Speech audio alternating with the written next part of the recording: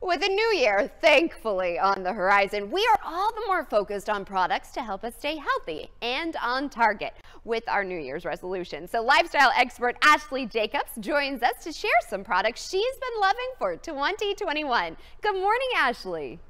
Hey Maggie, it is great to see you. And after a crazy 2020, we are all looking forward to a happy, healthy 2021. So here are five products to get your year off to a great start. I'm sure you're probably hitting the gym or working out at home. So we wanted to start with Spraysy. This is great. It's a deodorizer. Spritz it in your shoes. You can use it to spray down your yoga mat or your gym bag. It smells so good and keeps everything sanitized and smelling great as you kick off 2021 with those new health goals. Moving forward, sanitizing is top of everybody's mind and I love UV Care. Their Zap sanitizer is great. It uses UV technology to clean surfaces. So this is great, especially if you have to travel for business.